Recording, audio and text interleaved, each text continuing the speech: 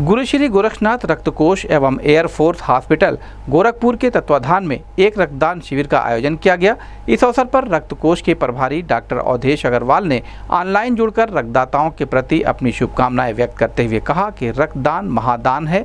एक रक्तदान एक यज्ञ के समान है। उन्होंने बताया कि रक्तदान करने से रक्तदाता को लाभ ही होता है।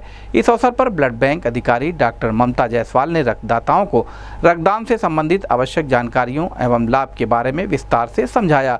जैसे कि रक्तदाता के रक्तदान करने से स्वयं तो सुरक्षित रहते ही हैं, उसके उपरांत एक रक्तदान से चार लोगों के प्राणों की रक्षा भी की जा सकती है। तथा रक्तदाता किसी प्रकार की कोई हानि नहीं होती है। इस अवसर पर नरेंद्र सिंह, नीलेंदु रेखा सहित 25 लोगों ने रक्तदान किया।